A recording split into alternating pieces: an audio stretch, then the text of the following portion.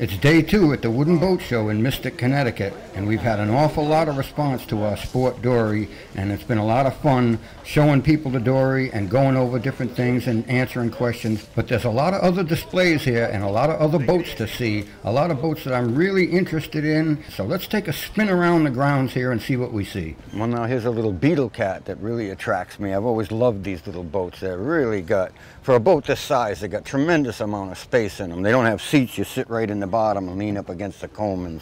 And uh, they've done a beautiful, beautiful job on this nice white oak, you know, beautiful canvas job, you know, nice seam work, flawlessly smooth hull. Excellent, excellent quality boats. A pleasure to see a little beetle like this at a boat, uh, uh, at a show like this. Look at the builder's tag, Beetle Cat, number 2350. 2,350 they've built of these. It's got a nice little uh, provision to put a, a, a, canvas over it and snap it on to here. So when it's raining at night, it doesn't fill up with water. Nice little traveler, beautiful little gaff rig, very simple to sail. Really, really nice little boat. Very, very pretty, very fair. Well, here's Nellie. Nellie really attracts me. Look at that, a nice gaff rig sloop with a nice big long bowsprit. And uh, I think it's got fish holes in it. I think this is probably an oyster uh, boat or oyster smack or something like that. I'm not really positive what you would call it, but look at the beam on it. Wow. I, I, think it's fantastic. You know, that boat looks really original to me, like it's never been rebuilt or anything like that, too. So, I mean, I'm not positive of any of those things, but uh, it really, really attracts me. I love the round stern, like I say, the beam and the sheer, and uh, I like the fact that it's a work boat, you know. I like work boats. So uh, when I see a work boat, I'm really attracted, more so than even a yacht with beautiful finishes and all that. All of that doesn't mean all that much to me. I like the form and the usefulness of a boat. And this rope, rope right here is, is something that uh, I think that there should be a lot more boats like this right here. One thing I just noticed that I hadn't noticed before when I looked at this boat, I believe this boat is a centerboard boat because it's got a little block and falls right here on the top of the house and it kind of has a cable that comes around the forward end of the companionway slides and right straight down to the center of the boat. So I think what that is is a centerboard trunk. Uh, we're not looking at the set of plans of the boat out of the water, so I'm speculating to a certain degree, but I think that's what it is. And like I said, I think it's a commercial boat and these were like either oyster holes or fish holes of some sort. So here's another thing that interests me about this design right here that I hadn't noticed before, and that is, is that the helm uh, can be operated from the companionway. You know, you can stand inside the companionway. It's kind of like having a dodger of sorts. And, uh, you know, in the winter months, I'm sure that's highly appreciated by whoever it is that needs to use a boat like this. Like I said before, this boat really attracts me a lot. It always has, and uh, sometime I'll get to see it out of the water. Now here's another little boat that interests me right here. This is uh, uh, I think, either Norwegian style or some sort of a Viking style. It's got this radical sheer to it and the stem head sticking way up, stern post sticking way up. It's got a lot of bronze reinforcement in it and different things like that. And it's clinker built lap strake, you know, with like dory style frames in it. But uh, it does not, I'm sure that this boat does not have a dory style bottom. I think it's got a keel in it. So a little bit different than a dory, but uh, still a long, slender boat with similar uses, fishing, nice sailing rig in it, rowable, sailable, nice looking boat. So here's a little fleet of boats on the beach right here, all of which are quite a bit different. You know, some of them are made of plywood, plywood lap strake. This is a nice little skiff with a rocker bottom here because uh, you need that rocker bottom in a skiff to get the boat to carry when you're rowing it. And uh, nice little design, you know, it's got a lot of room in it compared to a dory, but they're not as good in the surf as a dory is. These are like yacht tenders really as far as I'm concerned. And uh, I can see that the uh, this one's probably got an offset sailing rig in it because I see it's got a little centerboard trunk and then a hole in the seat off to one side so that the mast wouldn't be in the center of the boat. It would be off to one side so that when you walk around the mast, the boat doesn't want to heel over, you know. And uh, so they're all different. You know, here's a little three plank lap strake uh, glued or stitch and glue double-ended dory, I guess you might call it. Another little skiff over here with a cross plank bottom. And uh, that's a pretty little skiff actually, lap strake sides with quite a flared side back aft. And uh, little dagger board trunk and a sailing rig. Real nice. Nice little yacht tender right there. A couple of Gloucester gulls over here. Plywood, you know, uh, uh, dories really. And uh, I built a couple of those years ago. Great little boats. I mean, they don't have the, the classy style maybe of some other boats, but they're still very, very useful. Now here's a little Doug Hylan built uh, Peapod, double-ended, and uh, these are beautiful little boats. Many, many people decide to build these boats at home in their garage because they're small enough and yet you can actually use it for almost a whole family really because they hold a lot of weight and you can see how beamy the boat is compared to the length of it. So, uh, you know, they're a real nice handling boat and a nice little rowing boat. Fantastic little tender, like I said before. And, uh, you know, he's uh, built some beautiful oars for it here. It's got a lot of like strong features, little inwale, and uh, this has got an open gunnel to it. So when you tip the boat, the water will run right out of it. You know, some of these things I'm trying to consider on my dory now because uh, there's probably five or six different ways that you can make the gunnels. And uh, this is just one of them. So I have to consider all the different ways. It's got a two-piece breast hook in it, joined together in the middle. I think this is Douglas fir, and the gunnels and the inwales are Douglas fir. And of course the boat is plywood really. It's got a number of bent frames in it because it has a little centerboard trunk in it. So um, there's a sailing rig. I'm sure there's a little mast step right here, a little hole for the rig. And uh, that'd be a pleasure to sail and row for sure.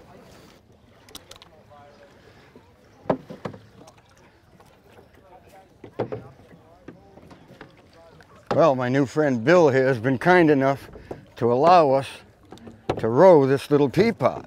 So this is kind of, this will be a pleasure because I'm looking forward to doing some rowing in the next few months and I can't remember rowing in actually a number of years really. So, so this is fun. And uh, it's a fine rowing little boat, really is. Hi there.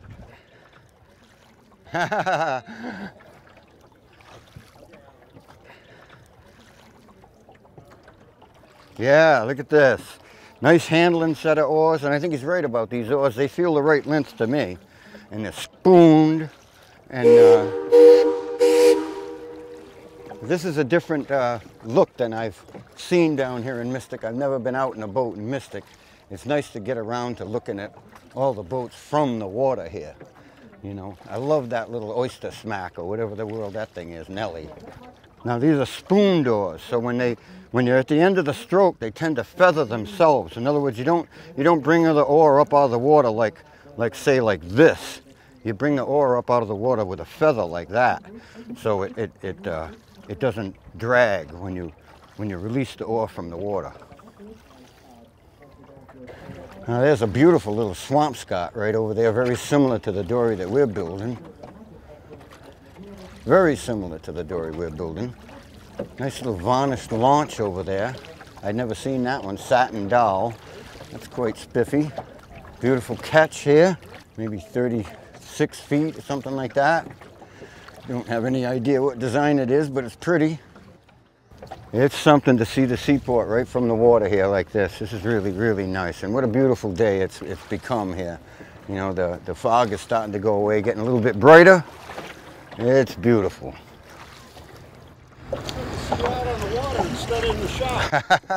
it's nice to be out on the water, it is.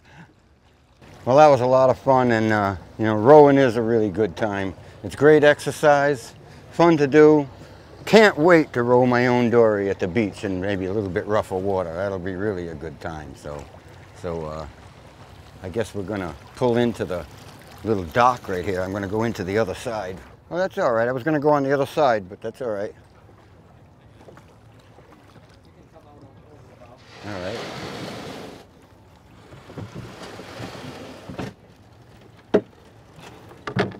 Let's ship the oars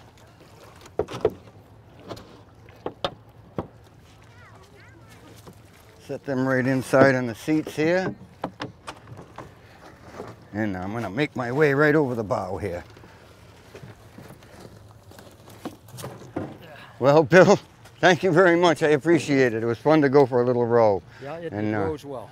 Oh, it rose really well. Yeah, I've always liked the oars to almost cross each other a little tiny bit. Yeah, these you know. cross, you know, maybe Yeah. that much or so. Yeah, yeah, just yeah. just enough to jam your thumb once. Right. Well, it's nice to see that people are still interested in building these boats, you know, Yep. especially people our age.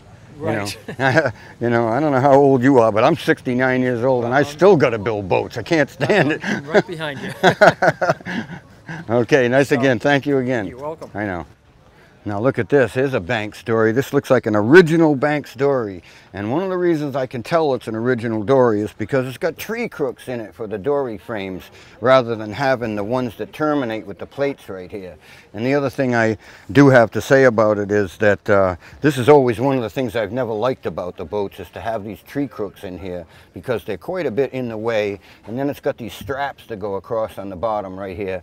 And it gets a little difficult uh, to bail the boat because when you're trying to bail the boat, all the water's kind of over to one side and you can't really bail the boat across the boat. It's like a fore and aft sort of a arrangement. And these things bang into your bailing box. So, you know, I think a lot of these boats actually used a pump in order to get the water out of them because uh, it was so hard to bail. But uh, that's just that one reason why on my dory I wanted uh, a bottom without anything athwartships in it so that I could bail it fore and aft with a bailing box quite quickly and easily.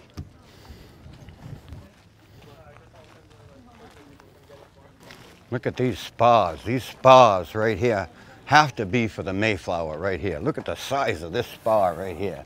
Wow. And I mean, and they're in pretty good shape. So they've got them stored in here for a purpose. And I think it's that they're going to reuse them. They don't need to build these over again. These are going to go back in the boat. So uh, really, really nice. Hey, there's a future shipwright right there. That's right. Hi, sweetheart. Look at the smile. Look at the smile. Watch your show all the time. Thanks. Well, here we go right here. This is the Mayflower right here. And it's going uh, through a total rebuild. Look at this. This is really spectacular. It's got some large wood in this boat and a huge amount of effort. Wow. Look at the height of the captain's quarters. It must be fantastic to be up there when this boat is underway. Uh, really something else. You know, maybe we'll get a chance to even get aboard this boat when it's uh, completed or something like that. But, uh, you know, Mystic's been on this rebuild for quite some time and they got a ways to go, but uh, they continue and uh, it's great to see it going on. It really is. So I'm looking at the starboard side here from back aft and uh, looking at the size of those planks. They look like they're like two and a half by eight or somewhere in there. And uh, you know, that's some healthy, healthy planking right there. And it's, I can see that it's put on with uh, uh, trunnels. So, uh, you know, it's trunneled to the frame in like wooden pegs rather than any kind of metal fastenings. And you need quite a bit of heavy framework in there in order to accomplish that because the trunnel's got a large diameter as compared to uh, any kind of a metal fastening. So, you know, that's, uh, they're trying to keep it uh, traditional here in the way they go about it, and they're doing it. Now we're standing up forward looking at the Mayflower and look at the size of the boat up here. You know, I, I mean the size of the framing, look at that. You know, big, heavy, maybe eight by, by eight framing, you know, solid oak. It's got just a heavy, heavy bow for plowing through the sea. It doesn't have any fair lines to it whatsoever. A fair line boat is actually slower than a boat like this. A boat like this has got this, what they call a bluff bow that breaks the, the waves and breaks the sea. So, uh, you know, as, as fat as a boat like this might look, they move pretty good.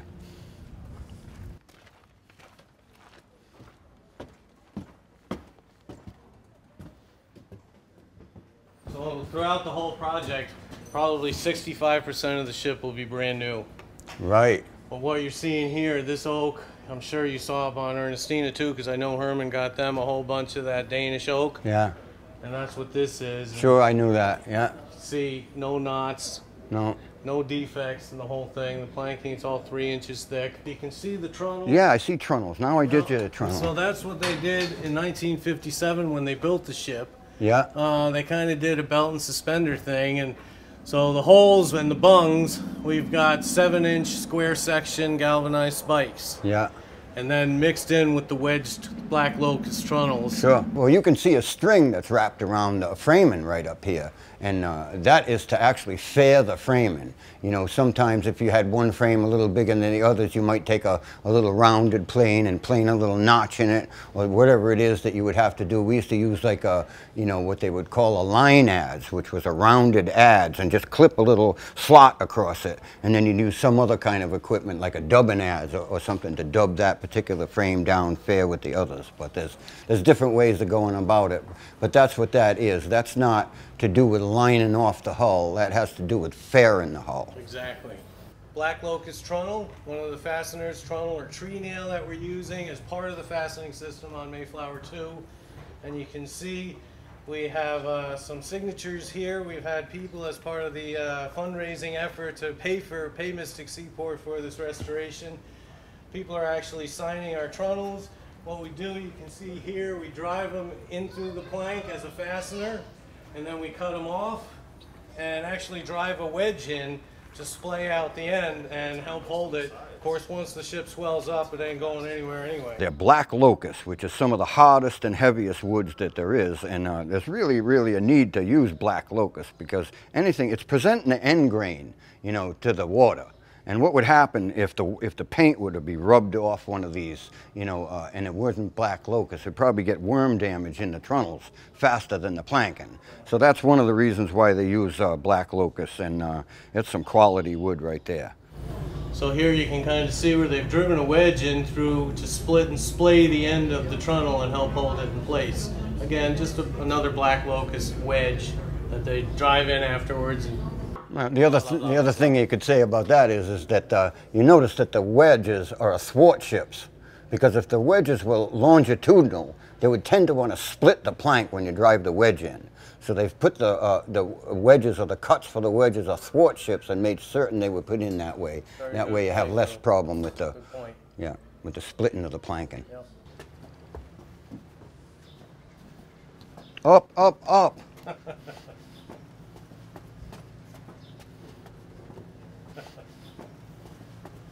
Recognize Lou?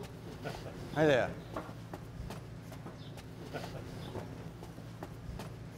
Linseed oil and turpentine mix, Sure.